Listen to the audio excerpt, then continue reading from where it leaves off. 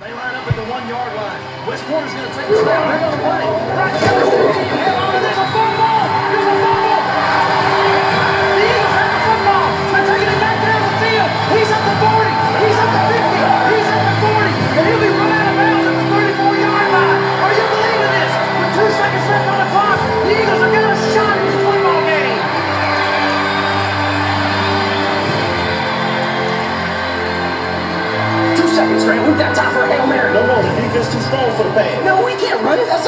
You gotta kick it, man.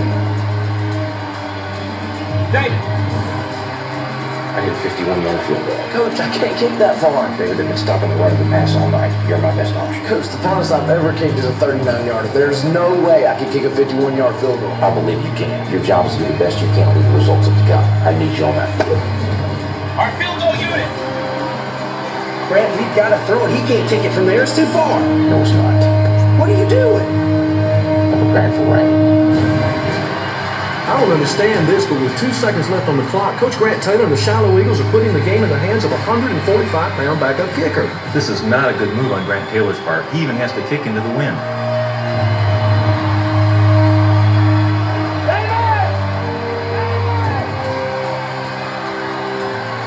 He's not ready, Grant. Don't think he can do it. I don't have any more timeouts. Call a timeout, Bobby Lee. This kid can't kick that far. Call that timeout. Call it timeout anyway. What's option?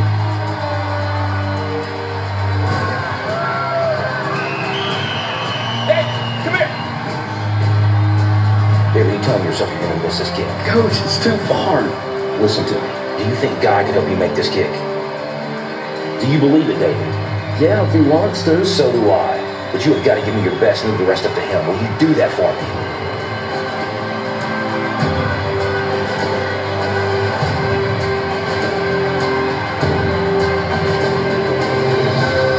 You make this field goal or not, we're going to praise him. But don't you walk off this field having done any less than your best.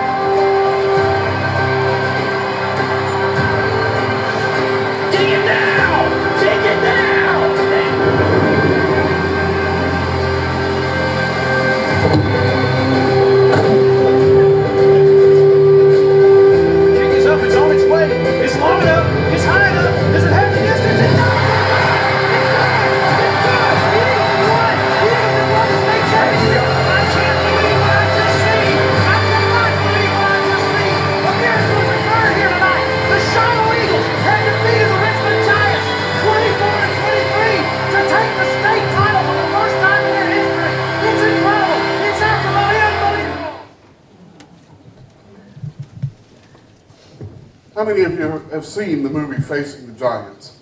Anybody? If you haven't, it's really a good a good movie to watch, and it's really got a lot of messages. Matter of fact, um, before I began this week, I asked Shannon for some recommendations of movie clips, and she sent me a movie clip that was about three or four segments earlier in the movie than this one. And I was watching that one, and it just didn't feel quite right. And I looked on and looked on, and then I realized that we are like David. My scripture today is from Matthew 28 16, the Great Commission. This is about the time in Jesus' life when he has been resurrected. He is about to ascend, but he's given the last information that he can to his disciples about what they should be doing for him from here. And it goes Then the eleven disciples left for Galilee, going to the mountain where Jesus had told them to go. When they saw him, they worshiped him, but some of them doubted. Jesus came and told his disciples, I have been given all authority in heaven and on earth, and therefore go and make disciples of all nations, nations, baptizing them in the name of the Father, and the Son, and the Holy Spirit. Teach these new disciples to obey all the commands I have given you, and be sure of this I am with you always, even to the end of the age. You know, how many of us are like David, the kicker in the video? We just don't believe we can be a witness for Christ. But just like David, if we trust in God, we can do amazing things. You know, David really doubted his ability, but he never doubted God. And when he turned to God to give him the ability to make that kick, he can do it. Or he did do it. It's difficult to determine when and where and how we can best share our relationship with Jesus with others.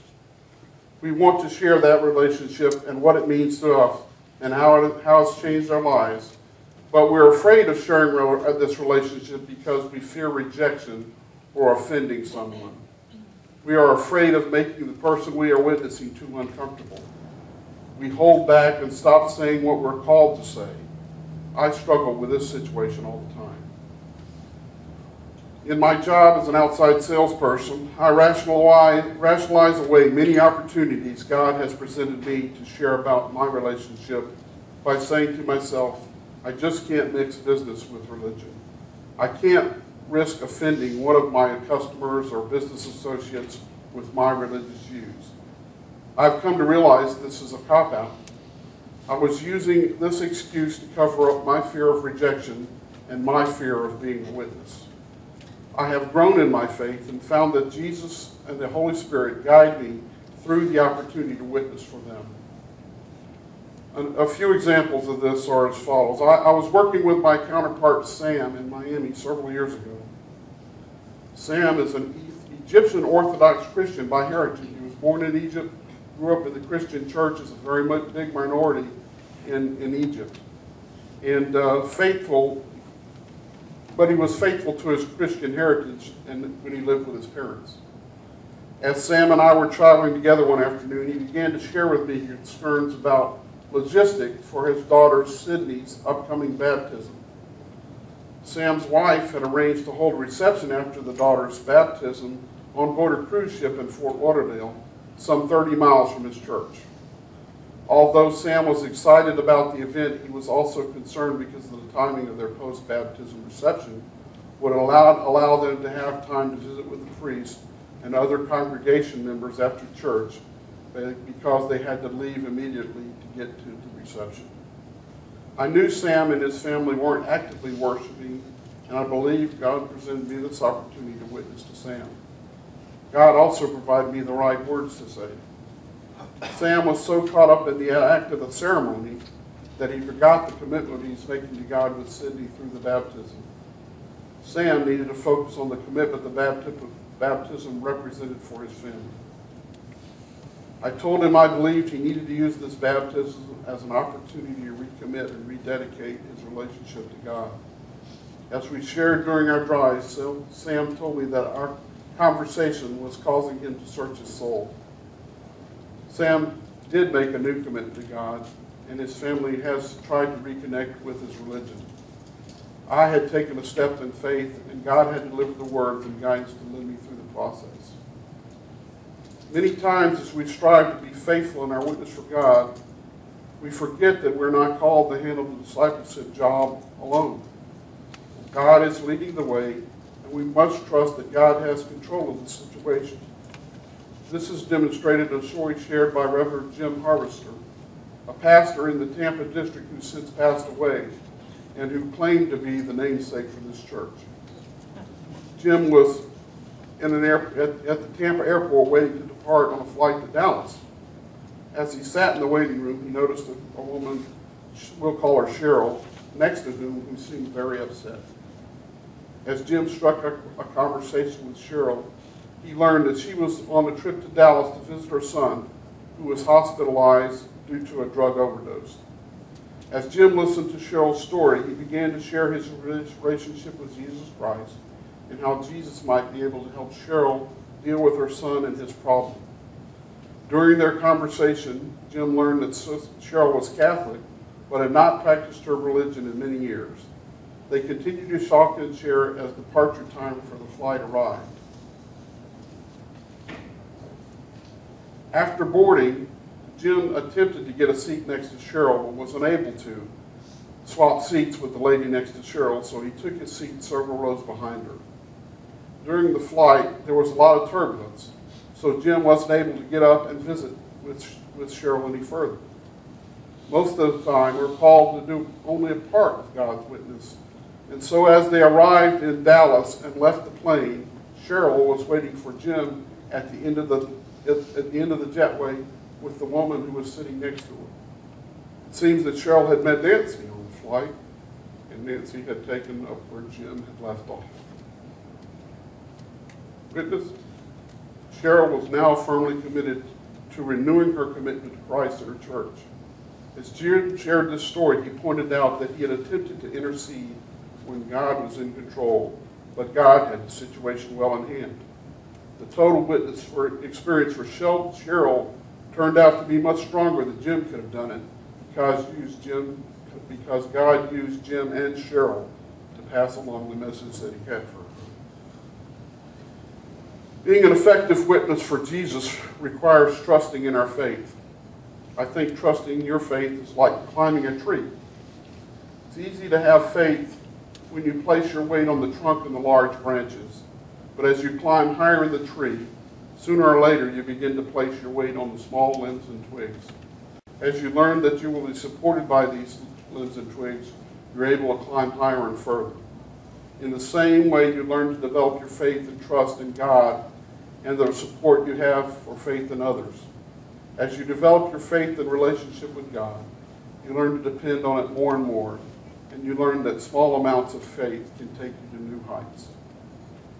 I believe that as I have had the faith to witness to others, God is providing me with more opportunities to testify about my relationship with Him.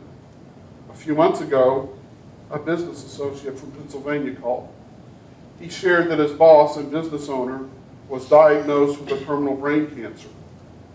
As we talked, and I attempted to console him, a portion of a recent sermon that Pastor Sam had delivered came to mind.